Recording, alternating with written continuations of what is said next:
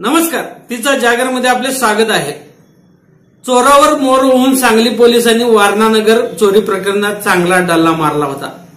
तशाच प्रकारची पुनरावृत्ती नागपूर पोलिसांकडून झाली आहे. बघूया काय आहे हा प्रकार. तिचा जागर एक नजर.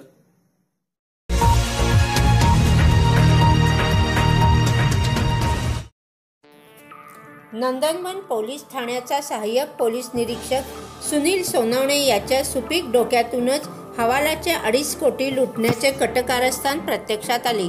ही रोकड लुटून पळून गेलेला कुख्यात गुन्हेगार सचिन पड पडगिलवार रवी माचलेकर पिंटू वासनिक आणि गजानन मुनमुने यांनी ही गुन्हे शाखेत या खळबळजनक हवाला कांडांची कबुली देताना गुरुवारी इत्यंभूत माहिती दिल्याचे समजते. यामुळे ए पी आय सोनवणे त्यांच्या मर्जीतील पोलीस शिपाई सचिन भजबुजे वाडेकर आणि अन्य एकाला या गुन्ह्यात अटक होणार आहे. दुसरीकडे पोलीस उपनिरीक्षक कृष्णा सोनुळे यांची ही भूमिका तपासली जात आहे सोनुळे वगळता अन्य आरोपींवर रात्रीपर्यंत गुन्हा दाखल करण्याची प्रक्रिया सुरू होती. नंदनवन पोलिसांनी रविवारी पहाटे अडीचच्या सुमारास पारडी मार्गावरील प्रजापती चौकाजवळ एम एच एकतीस एफ ए सेहेचाळीस अकरा क्रमांकाच्या डस्टर कारमधून तीन कोटी अठरा लाखांची रोकड जप्त केली होती. रायपूरहून मधील मॅपल ज्वेलर्सचे संचालक खजान ठक्कर यांनी ही रोकड नागपुरातील हवाला व्यावसायिक प्रशांत केसानी यांच्याकडे पोहोचवण्यासाठी पाठवली होती अशी प्राथमिक माहिती कार चालक राजेश वामनराव मेंढे आणि नवनीत गुलाबचंद जैन या दोघांनी दिली होती. ही कार नंदनवन ठाण्यात आल्यानंतर पोलिसांनी प्रशांत केसानीला फोन लावून नंदनवन पोलीस ठाण्यात येण्यास सांगितले होते. मात्र केसानीने ठाण्यात येण्याचे आणि बोलण्याचेही टाळले. त्यानंतर रविवारी सकाळी पोलीस ठाण्यात आलेल्या मनीष खंडेलवालने कारमध्ये बनवलेल्या लॉकरची चावी उपलब्ध करून देऊन कारमध्ये पाच कोटी त्र्याहत्तर लाख रुपये असल्याचे म्हटले होते. प्रत्यक्षात पोलिसांनी ही रोकड मोजली तेव्हा ती केवळ तीन कोटी अठरा लाखच भरली.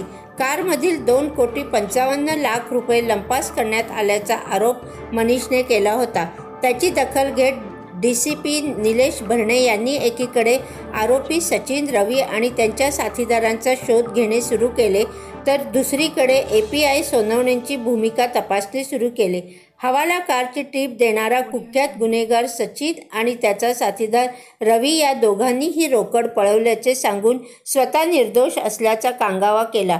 पोलिसांनी या प्रकरणातील वास्तव तपासण्यासाठी सोमवारी A P I Sonawane P S I Sonule आणि या कारवाईत सहभागी झालेल्या पोलीस कर्मचाऱ्यांकडून हवाला कांडाचे प्रॅक्टिकल करवून घेतले. या घटनाक्रमातूनही सोनवणे आणि त्याच्या मर्जीतील शिपायांची संशयास्पद भूमिका पुढे आली. दरम्यान आरोपी सचिन रवी पिंटू आणि गजानन हे चौघे महाबळेश्वरमध्ये दडून बसल्याची माहिती कळतात डी सी पी भरणे यांनी साताऱ्याचे पोलीस अधीक्षक पाटील यांना ही माहिती देऊन त्यांच्याकडून आरोपींना जेरबंद करवून घेतले. त्यांना नागपुरात आणल्यानंतर गुन्हे शाखेचे उपायुक्त संभाजी कदम यांनी त्यांची चौकशी केली. या चौकशीत आरोपींनी हवाला रोकड लुटण्याचे कारस्थान ए पी आय सोनवणेंच्या डोक्यातून निघाल्याचे सांगितले. त्यामुळे ए पी आय सोनवणे शिपाई भजबुजे वाडेकर आणि अन्य एकाला ताब्यात घेऊन त्यांची चौकशी सुरू करण्यात आली. या घडामोडीसोबतच आज दुपारी अली नामक व्यक्तीने डस्टर कारमधून अडीच कोटी लुटली गेल्याची रितसर तक्रार वरिष्ठांकडे नोंदवली. त्यावरून नंदनवन ठाण्यात गुन्हा दाखल करण्याची प्रक्रिया सुरू झाली. या हवाला कांडात कुख्यात गुन्हेगारांसोबत नंदनवन पोलीस ठाण्यातील अधिकारी कर्मचारी सहभागी असल्याने संपूर्ण पोलीस दलाला दलाच्या तोंडाला काळे फासल्यासारखे झाले आहे. त्यामुळे कोणताही पोलीस अधिकारी या प्रकरणाची माहिती देण्याचे टाळत आहे. बेल आयकॉनवर क्लिक करा आणि पहा ताज्या घडामोड्या.